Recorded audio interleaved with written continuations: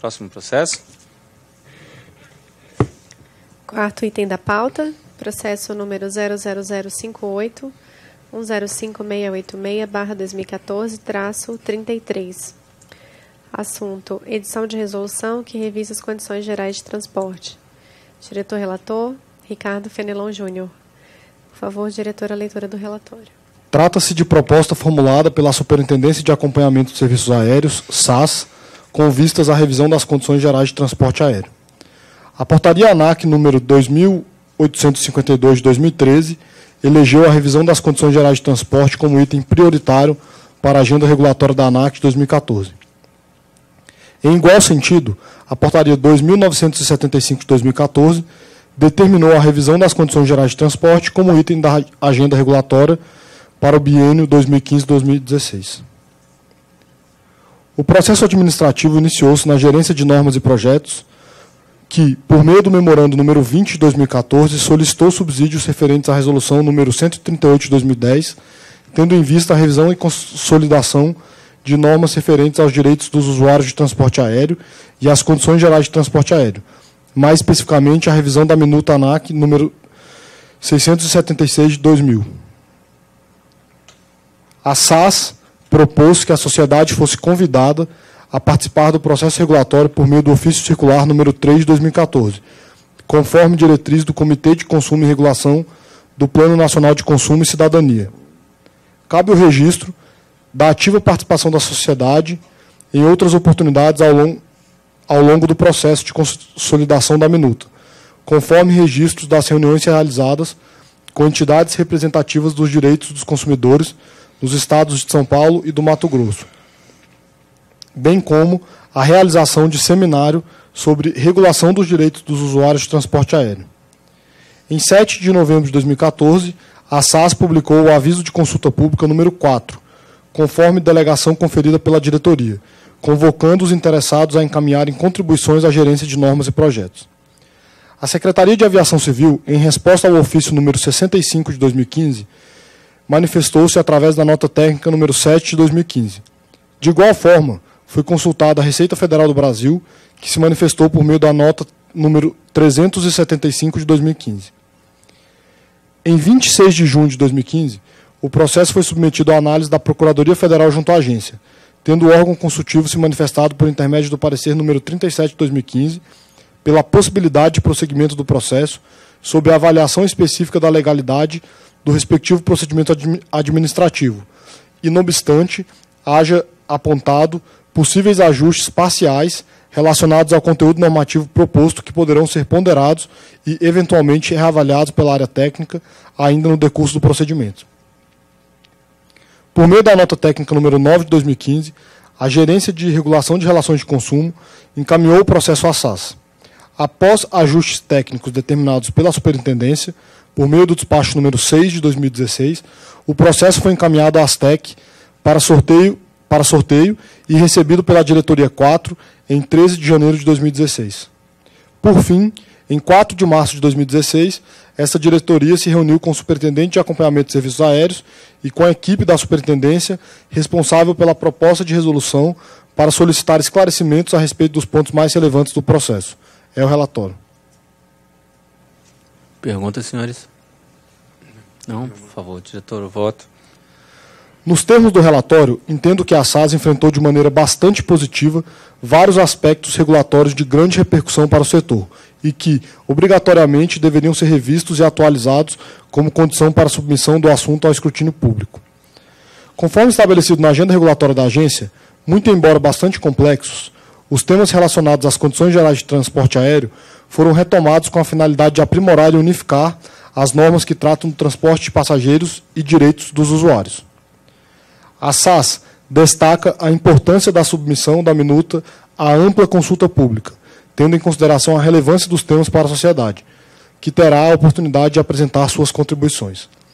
É importante ressaltar sobre o disposto no artigo 8 e parágrafo único da minuta proposta, acerca da possibilidade de transferência dos bilhetes de passagem. Em reunião realizada em 4 de março de 2016, esta, diretoria apresentou à SAS suas preocupações em relação ao dispositivo, principalmente sobre questões de segurança, fraudes e incompatibilidade de gerenciamento comercial entre os operadores. Não obstante, a pedido da equipe responsável pela nova resolução, o texto original formulado pela área técnica foi mantido com o intuito de receber contribuições da sociedade sobre este ponto específico. Neste ponto, aproveito para fazer a su sugestão de, no preâmbulo da audiência pública, constar é, uma observação específica em relação a este artigo. Pois bem, diante dos argumentos apresentados nos autos do processo em referência e considerando em especial as notas técnicas da SAS, o despacho número 6 de 2016 e o parecer 37 de 2015, bem como os artigos 8 da Lei nº 11.182 de 2005, artigo 9 do Regimento Interno da ANAC e artigo 1 da Instrução Normativa de Instrução Normativa número 18 de 2009, voto pela realização de audiência pública relativa à proposta de alteração das condições gerais de transporte, com prazo de 30 dias para recebimento de contribuições. É como voto. Senhores, como votam?